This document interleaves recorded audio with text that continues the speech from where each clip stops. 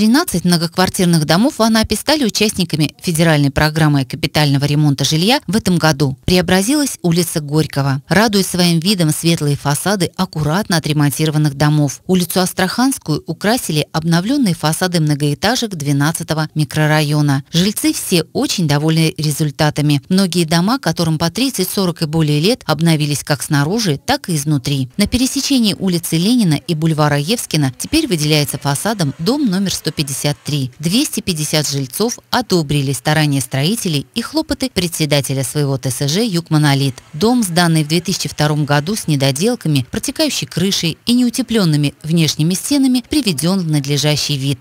То, что было, никакого сравнения быть не может. Далее, на, на, наш, наши подрядчики, которые ведут фасад, это ООО «Строймастер» и э, кровельщик ИП э, Шляхер Александр Лазаревич.